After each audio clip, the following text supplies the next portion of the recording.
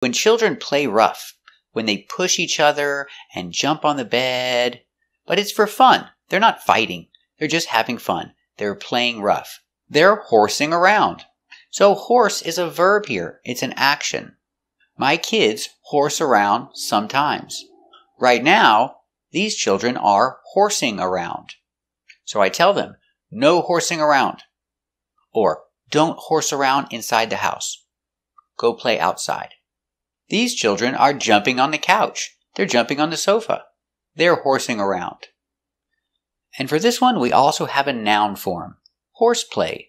Horseplay is not a verb. It is not an action. It is a thing. It is a noun. Horseplay. I don't like horseplay.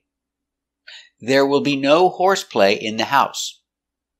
It's a noun, but it has the same idea.